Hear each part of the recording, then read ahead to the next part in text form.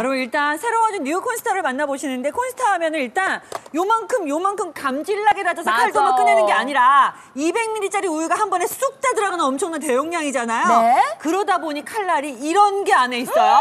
이런 칼날 어머, 보신 적 있어요? 3만 원대 이런 칼날이 3중의 칼날이 들어가 있다 보니까 네. 여러분 제가 만두 속을 만들 건데 지금부터 깜짝 놀랄 일이 봐- 보세요. 네? 심대 심대. 칼집 없죠? 예. 김치 한 포기 그대로 쑥 넣으세요. 우리 오? 지금 이거 칼도마 한다 생각해 보세요. 네? 생고기도 그냥 다 생고기를? 넣어요.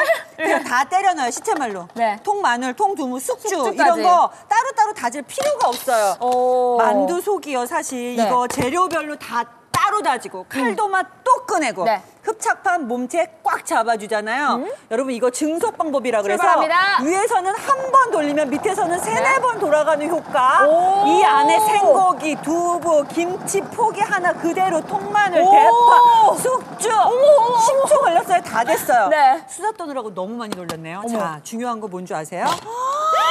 오, 웬일이야? 예 예술이다. 아, 진짜 이게 칼이 예. 분리돼서 설거지 너무 편하고요. 음. 저도 이제 시댁. 간다고 형님들 만난다고 멋 좀 내느라고 네. 손톱 이렇게 관리했거든요. 어. 손끝에 김치 국물 한 방울도 안 묻었잖아요. 그러니까요. 자, 우리 보세요. 소, 지금 빚어요. 급한 연지 씨 지금 그러니까. 벌써 아우, 저 진짜 저는 만두 담당이었거든요. 이게 너무 쉬워진 게 고객님 물만 살짝 묻혀다가 안쪽에 솔직히 만두를 빚는 건 일이 아니 아닌데. 피는 사면 되는데 이거 누가 그러니까 못해요? 그러니까 누가 해요, 고객님? 그리고 고객님 좋은 이걸 게 뭔지 아세요? 해드리는 거예요. 이 예, 예. 몸통이 흡착 판하고 분리가 되니까 음. 싱크대 위든 방바닥이든 그렇지. 어디서나 하실 수 있고요. 네. 이게 거의 2kg인데 너무 많이 했잖아요. 네, 용기 맞춰서 만두소 드릴게요. 냉장 보관하셨다가 나중에 또 볶음밥에 이용하시고 죽도 끓이시고 하시면 그럼 이 돼요. 용기에는 뭐 해요? 저희가 책칼 세트도 드리니까 통이 하나 더 가요. 변신을 시키시면 되는 자, 거죠. 통 하나는 아예 채칼용으로 바꾸시는데 보세요. 네. 이 뚜껑만 싹 바깥 끼우시면 채칼 변신. 근데 음. 예전에는 그냥 이렇게 됐는데 이거는요, 보세요. 어. 큰 불에 놓고 그냥 아. 김치 할 때, 더 이런 거할 때,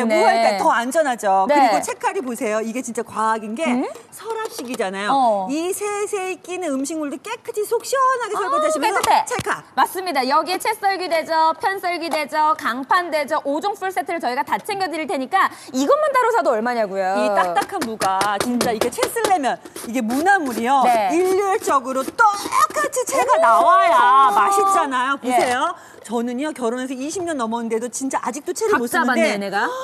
야, 인류 좋다. 셰프가 온들 이렇게 쓸겠어요? 그러니까요. 이렇게 하셔서 무나물 하시고요. 무나물 하시고요. 채썰기, 편썰기, 모양내기, 강판 지금 200분 넘게 수하게 드셨습니다.